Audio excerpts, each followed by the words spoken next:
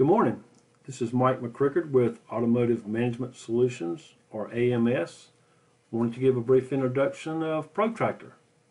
So what we're looking at here is what they call their prioritization screen. This represents all the cars on the parking lot.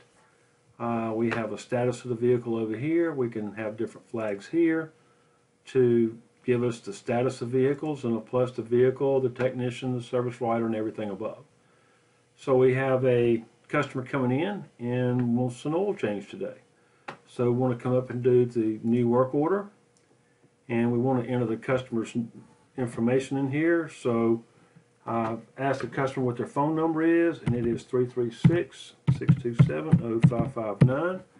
I hit enter and when I hit enter here I can see that this coming up under my White Pages Pro. I do not have this customer in my location. So I highlight it here, verify information. So I right click and go to edit it. And I can come in here and have the customer's name. I can add her husband's name if I want to. I can come in here and label that if I need to. I can move the husband above her name if I want. Any way I want to. I can add different phone numbers if I need to add another phone and that phone might be a cell phone. I could enter it here in the same way with email addresses. So here I've got the address. I can always edit the address, how the customer heard about us, customer notes, anything here I want to do with the customer. So I click Save and Close, and now I've got this customer saved under my location. Now we need to add the vehicle. So I'm going to come up here to add the vehicle, and I'm going to change this to North Carolina, and I enter the customer's license tag number, which is ACX 1752. I click the magnifying glass here. It does the Carfax lookup. It comes up here and gives me the plate number, matches this VIN number. It's decoded to a 2011 Toyota Camry with a 2.5. And so here I come down and I look at the models, the, the submodel of the car. And I can see that this one here, the 2.5, gives me that. So I select this vehicle. I click OK. It decodes the license tag, comes over with the year, make, model, submodel, engine.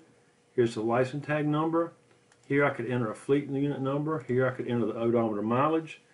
And I think this car has about 203,000 miles. This is a white car. And I went out and looked at the production date and I can enter the production date here. I can disable the marketing here and also enter notes on the vehicle here. Also, I can come here to go to the Carfax history and look at the Carfax history on this car on the mechanical history. I can print this for the customer if I need to. I click close and I save that. So now I have the customer and their vehicle in here, so I'm going to click next.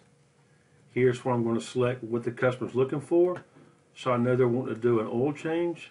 I can scroll down past the inspections come down to my oil change and this car I happen to know takes a synthetic oil change. So everything I'm going to select here goes onto the right side of the screen and everything on the right side is going to the work order.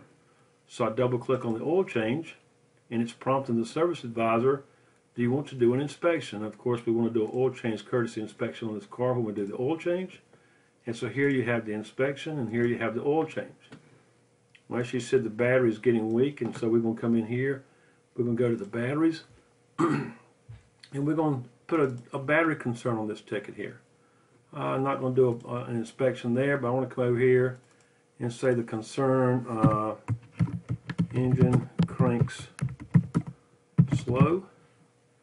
The conditions uh, when cold. Last service, customer doesn't know. So I've got that on there. Uh, also said the brakes have been making a noise. So let's go down to the brakes. And I can search through the brakes here and find what I'm looking for. But I've coded my brakes to a B2 to do a front brake job in, a, in the pads. So I double click that, giving me the pads and the rotors. It's prompting the service writer to upsell to a fluid exchange or a fluid flush. I scroll down and everything I've selected here is now on the right side. So I click next. This is where I can set up reminder items for this customer. I do want to remind them of their oil changes and tire rotations. So I'm going to select it here. I can also customize this per vehicle.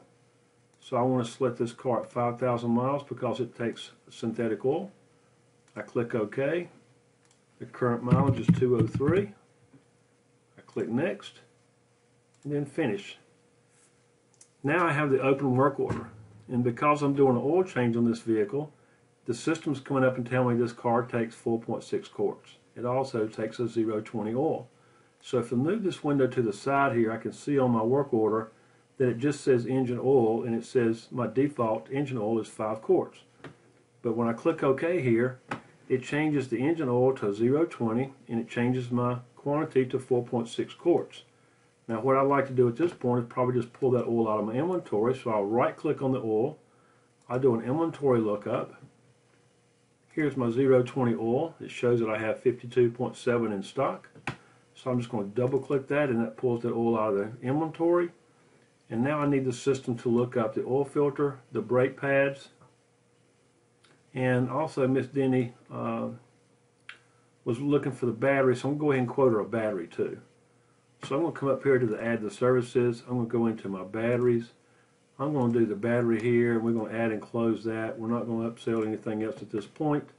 So now when I scroll down, I've got the lube, oil, and filter, the brakes, and the battery. So I need the system to give me the prices so I can give uh, Miss Denny a price. I'm going to come up here and click Catalog Lookup, and this is going to go down through all these items. So here you notice it's looking for the oil filter. So I click Oil Filter and I click Check. So it's checking my store for the filter. I can also check other stores here if I want to. But I notice here it says inventory yes. That means I have this oil filter in stock.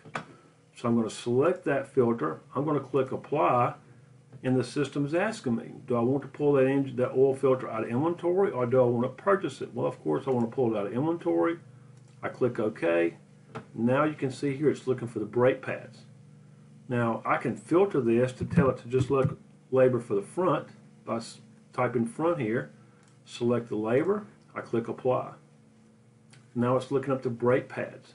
Front brake pads. I also like the fact that it's showing me everything related with brakes here. So I'm going to check the front pads and I see the store has these in stock. I'm seeing my cost in my list.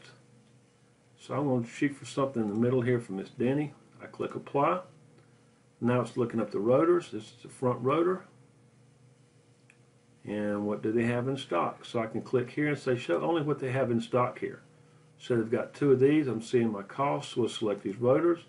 I can also double click here if I want to to see a picture of any of the parts that I'm looking up. So I selected that. I click apply. Now it's looking up the labor to replace the battery, which is half an hour. I click apply. Now it's looking up the battery. Let's see what they have in stock here. And I don't have any in stock, so I'm going to look at my costs. Select the battery, and click apply. So now just that fast, I can tell Miss Denny what the oil change is, the brake pads, and the battery comes out to out the door price of 861. Well, Miss Denny's asking me, okay, well, what is it going to be without the battery? So I want to come up here and select my review service packages. We can see it summarizes each job here with the price here and the total out the door here. So we're going to take the check out of the battery job and we're going to see the price here change when I take the battery out. So I can tell Miss Denny that it's 548 without the battery, $79 for just the oil change, and I can do any combination of these that I want. So she says she doesn't want to do the battery today. So I'm going to leave the check out of the battery. I'm going to click apply the package choices and I can enter a note here if I want to. And so now it goes back to the work order and I can see that the battery is now not on the work order but it is but it is down in my deferred work section of the work order. So now we need to order these parts. So I'm going to drop down here to my purchases. And if you notice here, the parts are a magenta color. We pull the oil and the oil filter out of inventory, so it's already sourced those parts. Now we need to source or order these parts. And notice this is magenta and this is black. So I go down to my purchases button. I click the, the part, I click place the order, and now it's going to come up with the order screen for the pads and the rotors. I can also enter a note here to the supplier if I want to and click place the order. Well, if you notice, this is three sections. We have to be ordered, order confirmed, and order received. So when we get the confirmation back and click OK, these parts are now going to drop down to the order confirmed section.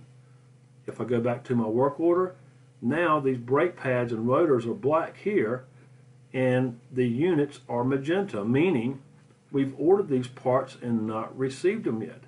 How many times have you ever looked at a work order and asked yourself, have these parts been ordered yet or not? Well, Protractor in a visual way shows you that the parts have been ordered but not received. Well, when the parts come in, the parts house brings them. We come back into here. We can do open the purchase order. Make sure we have the supplier right. Make sure we have the, the supplier invoice right. The reference number is this work order number. We click receive all. Do you want to add these to, yes I do. So now these two parts drop down to the order received section. When I come to the work order, now all the parts and labor are black. We can quickly and easily come down to the analysis section here and we can see what our margins are on the parts, the sale price, our cost, profit dollars, and profit margin. So as you can see, very quick and easy. Was able to get the customer price quickly. Uh, we can come down, we can go back and we can do the uh, general concern on the batteries. We can edit this. We can do the inspection. So thank you. And if you have any questions on Protractor, please con contact AMS at 1-800-566-9325. Thank you and have a great day.